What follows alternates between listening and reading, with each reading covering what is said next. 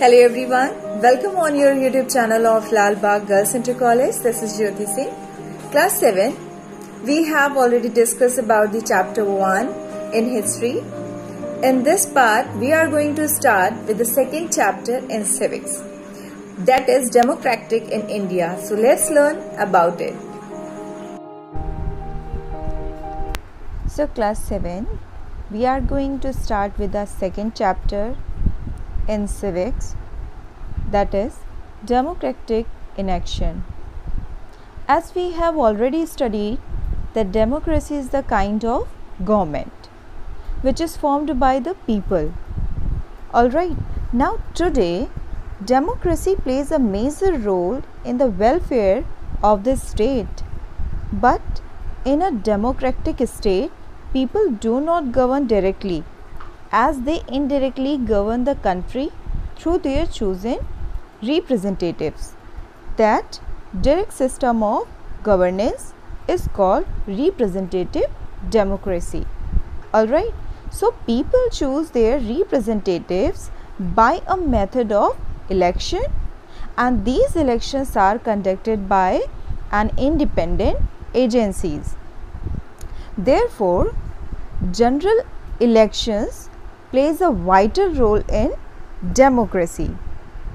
So, the representatives of democracy can be defined as a system by which people elect their representatives by exercising their rights to vote in the elections.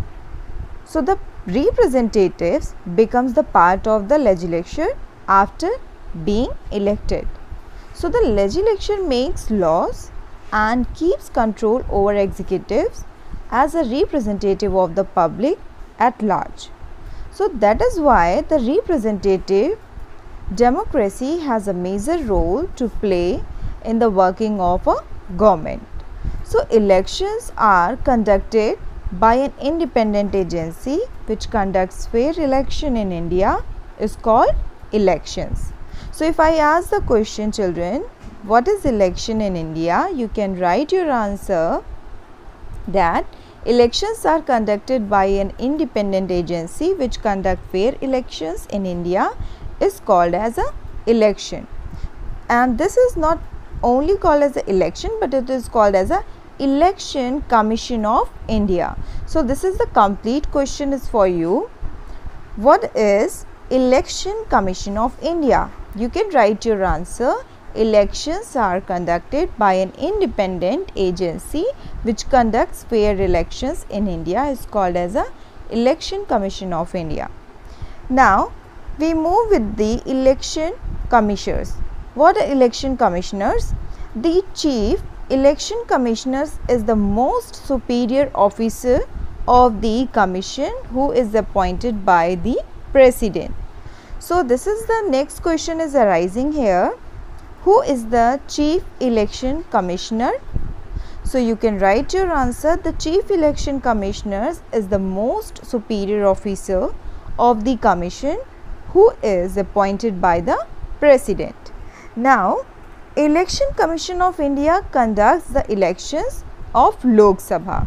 So here very important point is arising that who conduct the elections of Lok Sabha here is the answer. The Election Commission of India conducts the elections of Lok Sabha. So, this is the third question you can write in your note copy.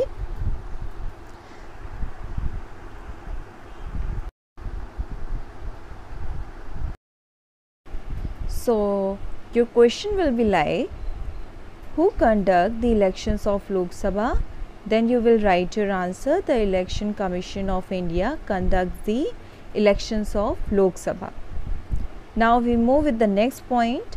State legislative assemblies and local bodies like municipal corporations and zilla parishad etc so basically state assemblies are of what local bodies like municipals or zilla parishads etc okay now we move with the next point So, this is your next topic Universal Adult Franchisees. All men and women who have attained the age of 18 years are eligible to cast their vote.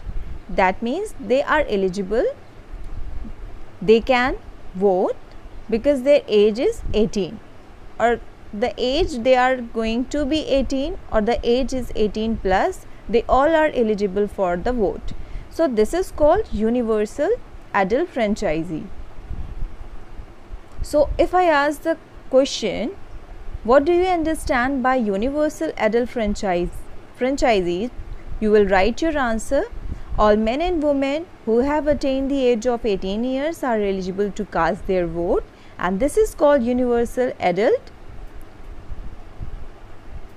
franchise. Alright so this universal adult franchise refers to the right to vote and elect the representative. So they have the authority they have a right to vote and elect the representative of their state. So give to the this authority has been given to the all adult citizens irrespective of their age gender qualification economic status. These things doesn't matter in their case of vote or in their case of their uh, selection of representatives. Okay so they have a right. They can vote. They can elect they can elect the representatives.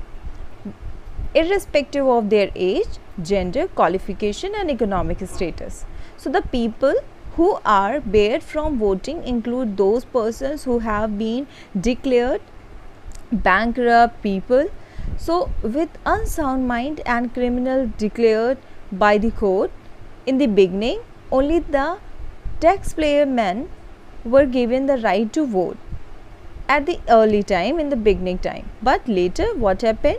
Later, the women struggled for their right and they were given to right to vote as was given to the men. So, in the early time, there was not right has been given to the women also but this right is only for the men they can vote so because of that reason the women has fighted and after that the government has provided the right to vote the men and women both so all the discriminations worldwide has been removed so this discrimination of men and women votes has been totally discriminated throughout the world. So, and this was removed by the democratic countries and universal adult franchisee in the basis of is the basis of the elections in all the democratic countries. So, in India, India is the second largest democratic nation of the world. This is a very important point you can write down that the India is the second largest democratic nation of the world. So, if I ask the question, who is the second largest democratic nation of the world? You can write your answer. One word answer is India. You can mark this point or you will write all these questions which I am telling you in this video. You will write all these questions in your copy. It's better you when you watch this video, you just open your book and there you can mark all these points.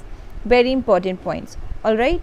So we move with the next point. In india universal adult franchises is applicable by law. Therefore excluding children below 18 years of age so as you know that 18 below age children are not allowed to give their votes so, people with unsound mind and unlawful people who have defined the laws. So, who have defeated the laws, all people get the right to vote.